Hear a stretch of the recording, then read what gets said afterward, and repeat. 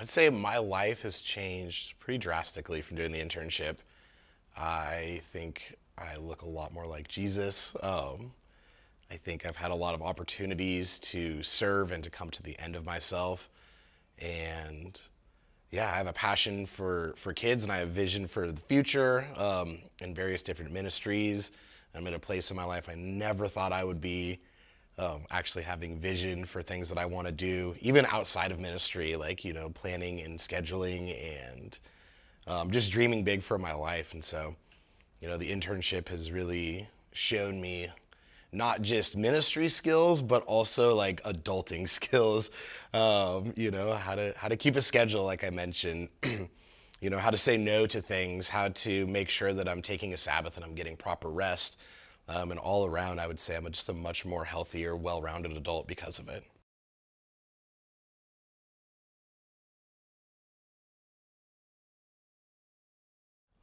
my relationship with Jesus has been absolutely radically transformed by doing the internship. Um, I know how I hear God's voice now, and I know how to identify that very clearly, even in the midst of tons of other distractions and tons of other things going on in my life. Through all of my busy days, I can hear and distinguish the still small voice from every other voice in my head, and I know exactly what Jesus is saying to me, um, way more so than I did beforehand. I mean, we spend a lot more time together now doing the internship. You will get to spend a lot of time with Jesus, and it's it's so sweet and so special.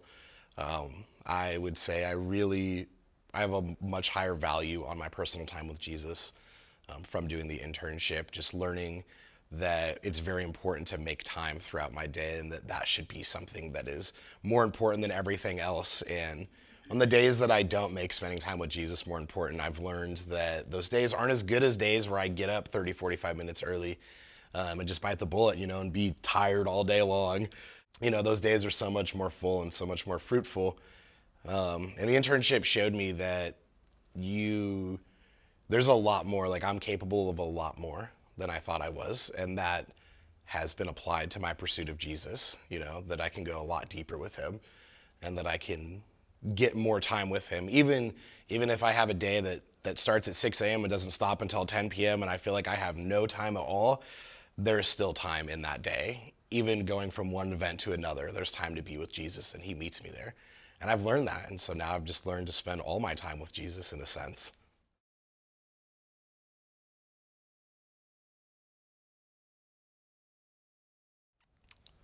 I would say do it. If you feel at all like you're called into this, just do it. Um, nine months seems like a long time. I'll tell you right now, it's the perfect amount of time. It's in the sweet spot where you think you can't do anymore, and you also know that you can. um, yeah, it, do this if you really want to look like Jesus. I mean, if you seriously want your life to be radically transformed and to look more like Jesus and get to see some of the things that he did on earth when he was here in your own life, you know, and you want to learn how to pray and learn how to tap into the Holy Spirit. And I mean, if you really want your life to look like the gospel, I would say do it because I don't think there's a way for you to do this and stick it out for nine months and not have that happen for you.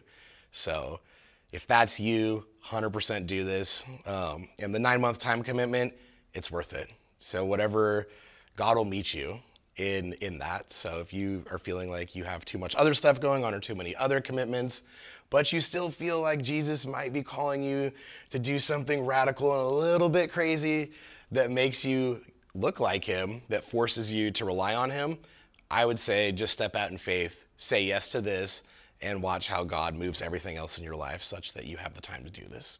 That's happened for a lot of us. So I know it can happen for you.